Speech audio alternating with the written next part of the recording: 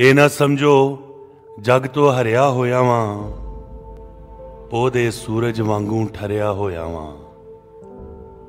ਹੁਣ ਕਤਲਾਂ ਤੇ ਲਾਲ ਹਨੇਰੀ ਨਹੀਂ ਚੜਦੀ ਬੇਹਿੱਸੇ ਮੌਸਮ ਤੋਂ ਡਰਿਆ ਹੋਇਆ ਵਾਂ। ਦੌਲਤਮੰਦਾ ਤੇਰੇ ਖੀਸੇ ਕੀ ਸ਼ੈ ਨੇ? ਮੈਂ ਜਿੰਨਾ ਕੋ ਅੰਦਰੋਂ ਭਰਿਆ ਹੋਇਆ ਵਾਂ। ਮੈਂ ਉਹ ਬੂਟਾ ਵਾਂ ਜੋ ਅੰਬਰ ਵੱਲਾਂ ਦਾ। ਲਹੂ ਪੀ ਪੀ ਕੇ ਤੇ ਅੱਜ ਹਰਿਆ ਹੋਇਆ ਵਾਂ।